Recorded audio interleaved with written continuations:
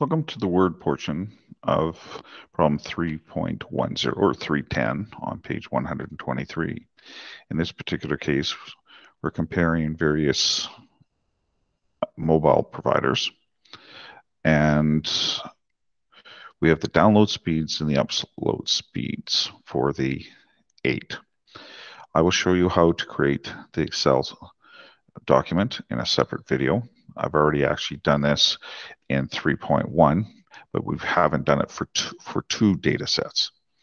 So as you, you can see, the means are provided, uh, and we're going to analyze this. It's not just important to calculate numbers, it's under, to understand what the numbers mean. Are they good? Are they bad? How did they describe the data? That's why it's called descriptive statistics. And so we have uh, the, the tables up above. So really what's important is that is done for you. You can plug in the numbers.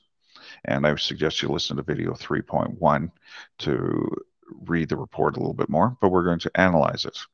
So as you can see in part C, the uh, is the data skewed? Well, the skewness is the place that I would go to. And you can see if it's zero, it's not skewed. If it's positive, it's right skewed. If it's negative, it's left skewed. So you can see that indeed the data is left skewed. And you can see that in both cases, the mean is below the median, which should also indicate it's left skewed. So if you don't have the skewness, then you can simply look at the mean and the median. Now, kurtosis has to do with how peaked the data is. The larger the number, the the more peaked it is. So the if a number is zero, it means it's a perfect bell curve. And if it's less than zero, as you can see with the upload speed, that means it is flatter. All right. They call it less peaked. The really uh, technical term is, or proper description is platykurtic.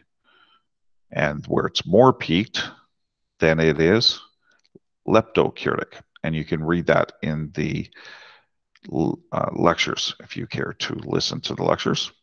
In part D, you can see that the download speed is much higher than the upload speed. These are measured in megabits per second. So,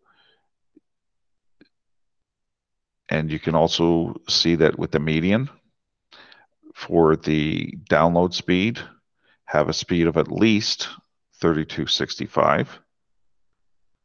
So that means that at 32.65, half the download speeds are below that number and half are above. With the upload speeds, that number is 12.95, which is a much lower number, which would indicate much slower. So that's the analysis uh, of that part.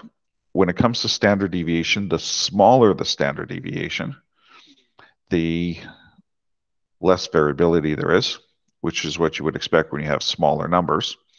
And the larger the standard deviation, the number, the wider the distribution. And as a friendly little reminder, the variance is simply the standard deviation squared.